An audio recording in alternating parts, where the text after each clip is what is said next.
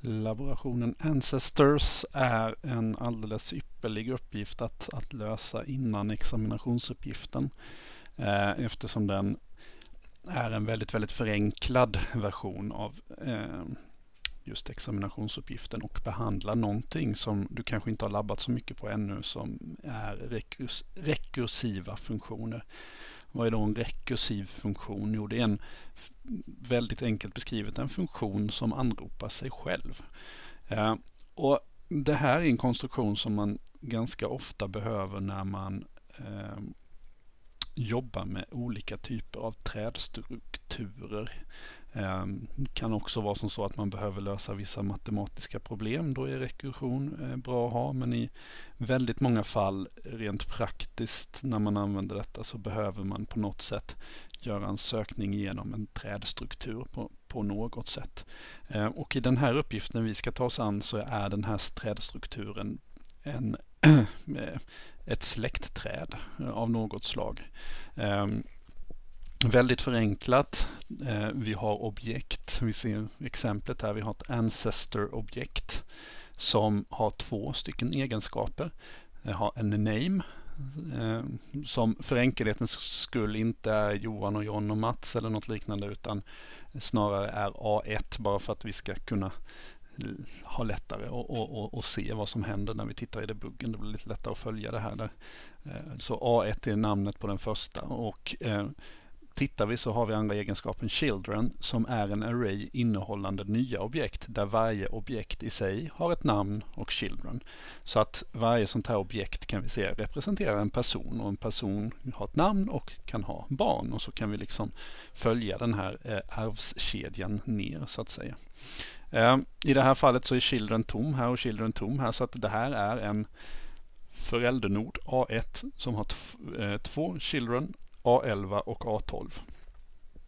Eh, I ett mer realistiskt fall så kan vi bäddra ner här så ser vi att ja, då kanske det ser ut så här att vi har väldigt många nivåer. Nu har vi någonstans liknande en nivå, två, tre, fyra, fem nivåer eh, ner. Men vi skulle kunna tänka oss att för ett stort arvsträd kanske vi har 200 nivåer. Eh, vi, vi, kan alltså inte veta hur djupt ner man kan gå, vilket gör att det kan vara lite bökigt att, att, att jobba med vanliga loopar i det här fallet, utan vi behöver någon annan typ av programkonstruktion. Eh, vad vi mer specifikt ska göra är att givet ett sånt här objekt så är vår uppgift att plotta i konsolen, eller rättare sagt skapa en sträng som sen skrivs ut i konsolen, där föräldern först ska stå eh, på det här sättet i eh, vänstermarginalen. Sen ska vi ha en radbrytning. Sen ska dess barn stå intabbade ett steg. Och om A11 här hade haft barn, ja då skulle de vara intabbade under A11 så att vi får en visuell trädstruktur som vi kan titta på i konsolen på det här sättet. För att uppnå det här så behöver vi kunna göra radbrytningar och tabbtecken i strängar och radbrytningar i backslash n och tabbtecken gör man med backslash t. Så den här är alltså strängen som ska genereras utifrån det här överliggande objektet här och vi ska försöka så metodiskt vi kan gå igenom det här. Och det, det står nog någonstans, om det inte står här så står det i en kommentar i, i filen att det är väldigt, väldigt bra att, eh, ja här står det använda debuggen och testa och försöka följa med och se vad är det som händer. Stan, stanna debuggen, köra den sakta framåt. Vi ska titta lite på det också, hur, hur, hur vi kan nyttja den. Så vi eh, gör väl som så att vi tar oss in i koden helt enkelt. Eh, här har jag eh, förberett genom att checka ut koden. Eh, tittar vi så förvisso har vi ett konstruktorobjekt här men eh, i det här fallet så eh, är det inte som så att det här konstruktorobjektet har eh, så många prototypfunktioner mer än den här toString-metoden. Sen har vi bara lagt en funktion rakt upp och ner här och det här är en så kallad privat funktion i den här modulen. Eh, nu har vi inte pratat så mycket om moduler, det kommer senare, men vi, den här kan man ju jämföra med lite som man kanske jobbade på examinationsuppgift 1, att vi bara har en funktion här som anropas inifrån Ancestors konstruktor. vi skulle i det här fallet kunna tagit och flyttat den och lagt den här också, men skapar, eh, skapar vi väldigt många objekt så kommer vi då få eh, flera Eh, Eh, instanser av den här funktionen. Det behövs inte så vi har valt att lägga den utanför. här är en konstruktion som man kan se ibland. Eh, på samma sätt har vi lagt en eh, bara en egen, eller bara en variabel här, Treestring, som är det som ska returneras så småningom. Den här kommer då att liksom knytas till modulen, så den kommer inte att bli helt global, men den blir global för vår modul. Men det är egentligen bara ett annat sätt än vad vi kanske har gjort i tidigare labbar att skriva, skriva koden på. Nu blir ju dock då vår uppgift att se vad är det som händer här. Vi kan titta lite, vi, får testa titta i app.js till att börja med. Hur, hur, ser den här ut? Jo, vi, vi, vi har vårt ancestors-objekt som är det vi ska, eller typ som vi ska jobba i. Vi har ett objekt här som beskriver en, någon form av sån här struktur och det här är också samma som vi eh, ser här i readme-filen. Det är alltså den här strukturen som, som ska beskrivas på något sätt. Och sen så skapar vi ett instans av Ancestor. Vi skickar in det här objektet till konstruktorn. Ut får vi ett resultat.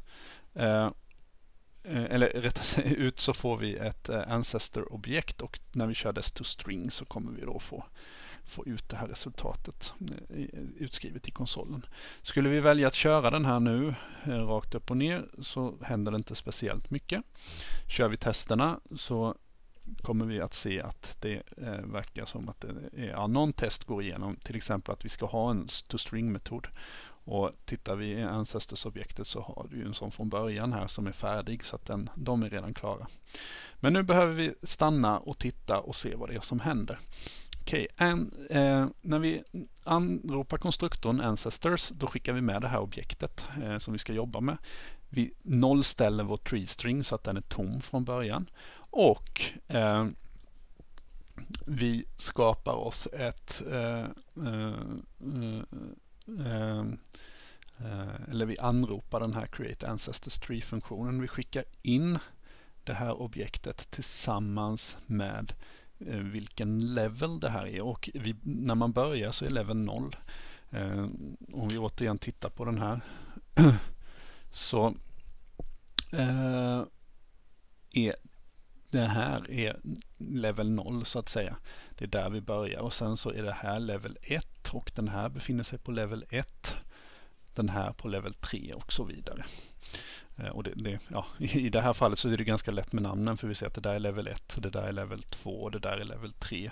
Det där är level 5 eftersom det är fem siffror. Det läggs på en siffra per level. Men, men i ett realistiskt fall så hade ju det här kunnat vara kan vi tänka oss filnamn i en filstruktur eller någonting så då hade vi inte kunnat utgå ifrån från det. Men, men i det här fallet så, så gör vi det lite lättare när vi tittar på det. Okej, okay, då ska vi, här står det Your code here, use the debugger to analyze current. Och för att kunna stanna debuggern så är det bra att bara göra en instruktion. Vi gör den där instruktionen current, den gör ju ingenting. Men det den gör är att vi kan stanna debuggen smidigt där. Vi växlar till kör och så klickar vi på debuggen får vi se vad som händer.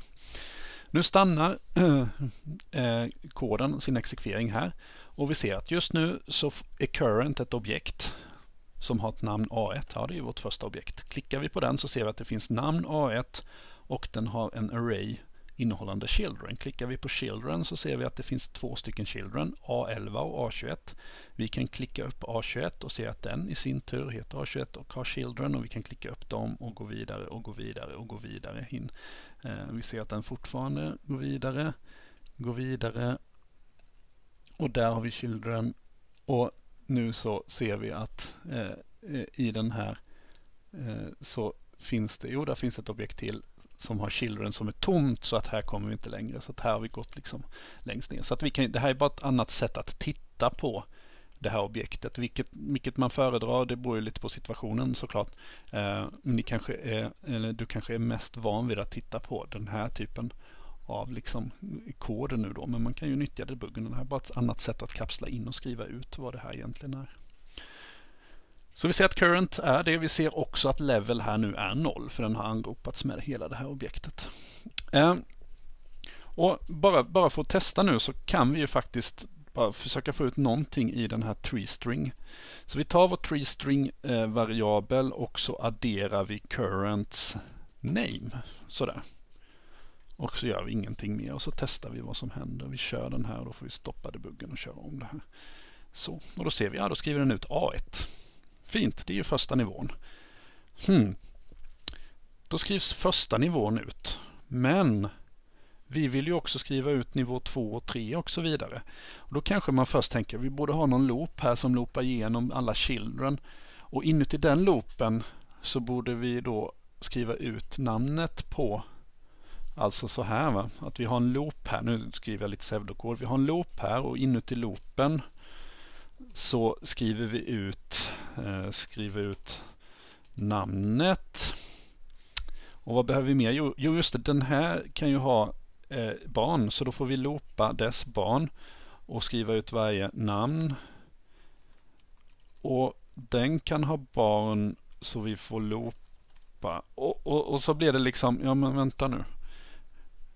Om vi har åtta nivåer då kommer vi behöva ha åtta loopar här nu. Skriva ut namn, och loopa och loopa och loopa. Har vi 200 nivåer då inser vi att det här sättet att lösa det här på skulle bli helt ohållbart. Vi behöver alltså en annan konstruktion. Och här, det är här rekursion kommer in och alltid när man ställs inför ett sånt här problem då ska man börja fundera, kan vi lösa det här med rekursion? Och vad är då rekursion? Jo, vi anropar eh, create ancestor tree, vi alltså anropar den funktion vi redan befinner oss i.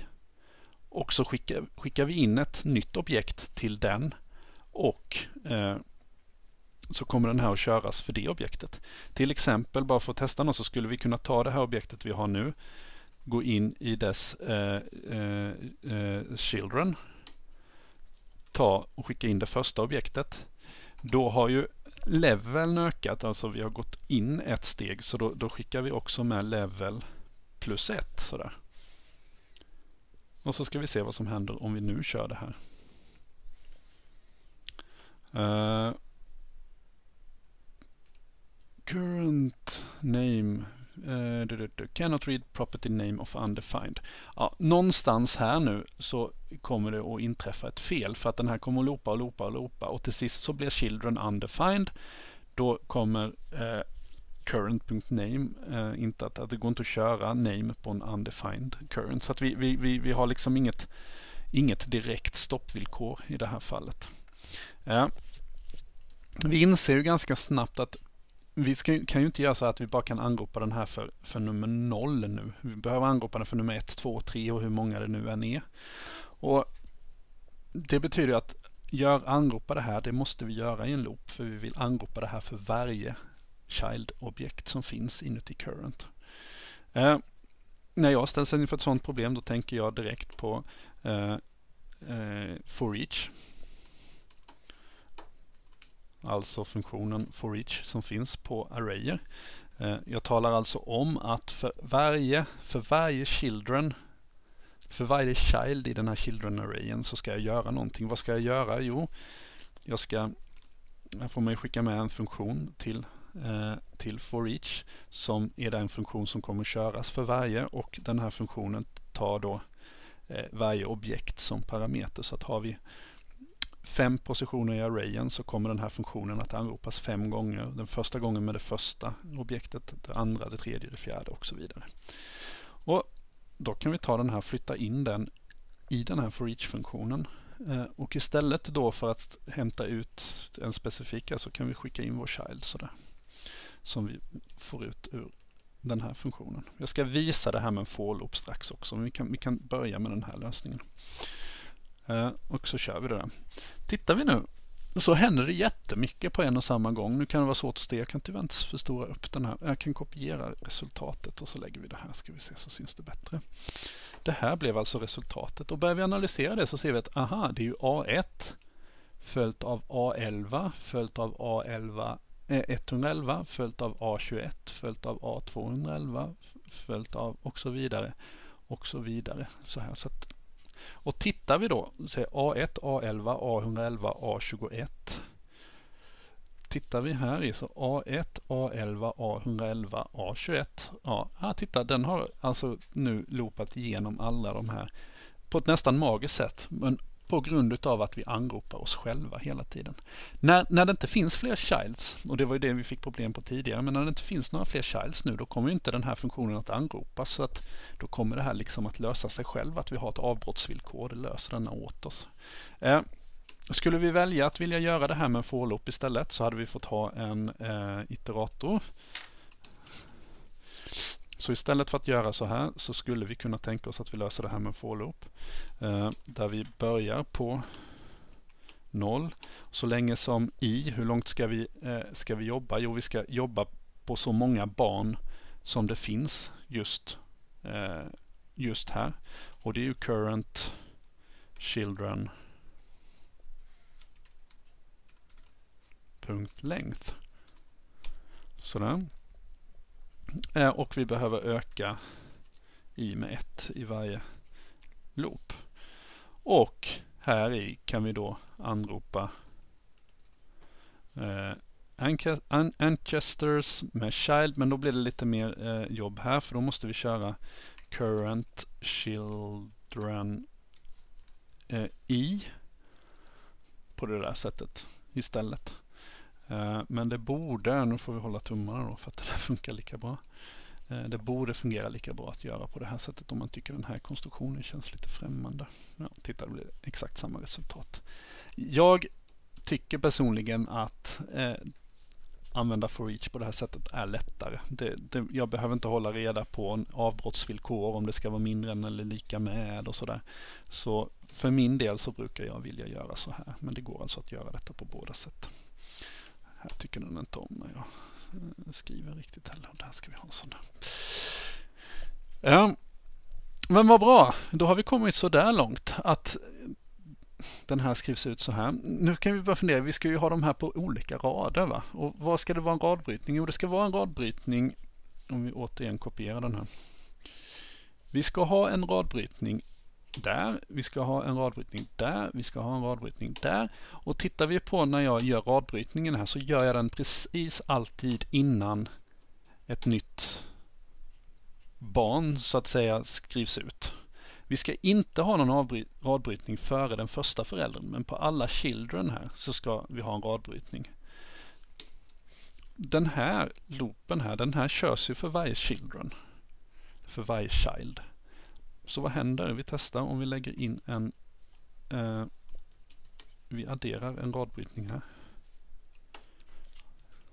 Sådär. Så kör vi. Boom! Titta! Nu verkar det vara helt rätt. Va? Vi får en radbrytning före varje child. På det här sättet. Nu börjar det likna något. Nu ska vi bara se till att den där som befinner sig eh, eh, på level 1 ska ha en intabbning. Den där som befinner sig på level 2 ska ha två intabbningar.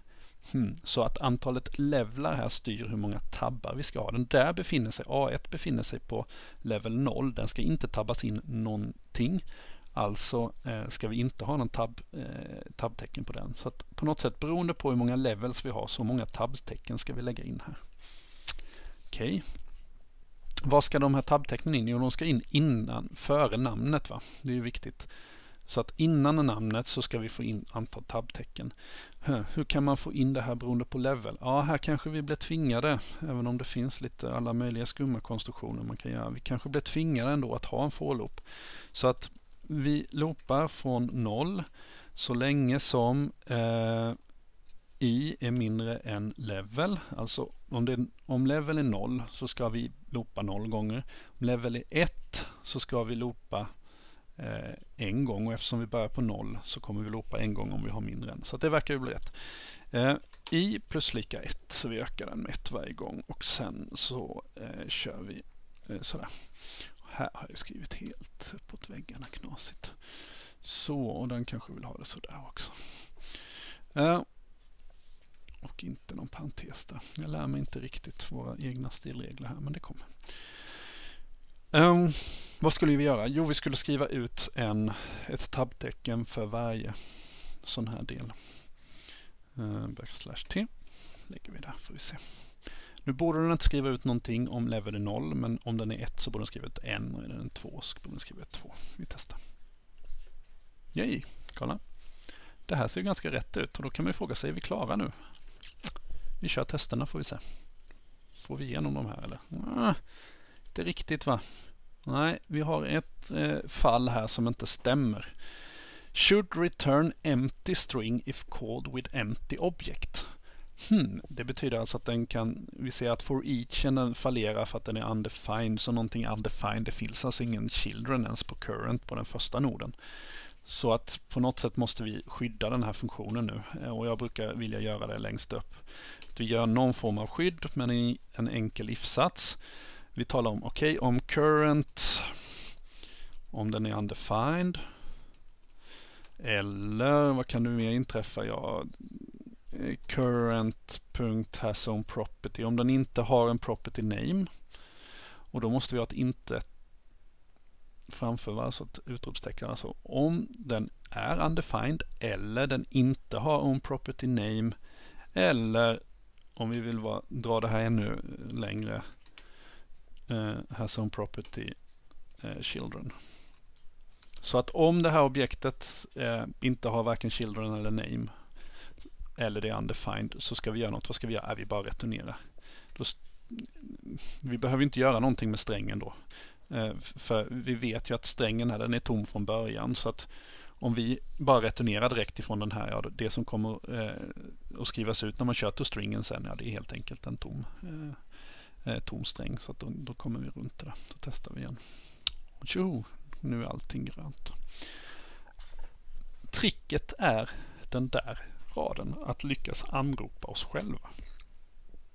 Kommer man runt det så, kan man göra väldigt mycket, mycket, mycket på en och samma gång. Alltså det, man kan få väldiga sådana här kaskadeffekter. Det kan också vara lite farligt. Har man inget avbrottsvillkor här så kommer man ju få en så kallad stack overflow för att vi anropar oss själva i all oändlighet. Så att man får vara lite försiktig när man gör det här också. Men visst, datorn kommer inte att brinna upp men ni kommer att få en, eh, en varning i, i Webstorm som helt enkelt säger att nu finns det inte mer minne kvar så att då avbryter den. Eh, men förr i tiden när man inte hade de skydden då, ja, då kunde man ställa till det på webbsidor till exempel som inte eh, ja, som helt enkelt fick webbläsaren att hänga sig och sådana här saker. Men det, det, finns det ju givetvis skydd för idag i, i de moderna webbläsarna. Eh, hoppas du hängde med. Försök sitta och titta på den här uppgiften eh, själv. Det går att lösa den på, på såklart flera olika sätt. Eh, det finns ju en lösning för att istället för att ha den här forloopen så kan man tänka sig att man har eh, en sån här, vi ska se om jag får till det. Man skapar sig en ny array. Vi kanske inte ska använda new array men i det här fallet måste vi det. Eh, eh join. vi skapar en array som innehåller, om, om vi är på level 0 så innehåller den en position och sen så joinar vi ihop med en ett T emellan de här eh, och då borde den där kunna ersätta. Kanske inte ska ha plus ett nu inser jag. Uh, nej, det blev inte riktigt rätt uh, alls. Uh, ställde jag nog till det här. Ska se om vi tar bort den där och bara kör joint.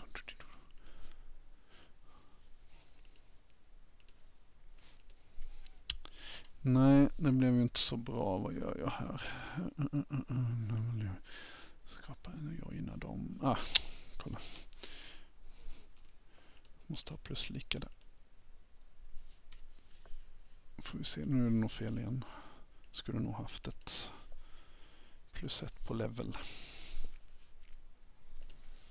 Så, Eh, så går den igenom. Alltså, så det, det går ju att, att, förenkla den här, slippa den där forloopen genom att göra så här. Men det här kanske inte är det mest effektiva eh, sättet att göra det på. Så att, eh, tycker vi skippar det. Eh, och det går som sagt att göra eh, det här med både en for each loop eller bara en vanlig for loop om man så vill. Det blir precis samma eh, resultat. Så att eh, lycka till med den här och lycka till med examinationsuppgift eh, Eh, två som lämpar sig alldeles utmärkt att göra efter den här uppgiften. För hänger man med på den här uppgiften så tror jag att man hänger med på problemet eller problemställningen i examinationsuppgift 2.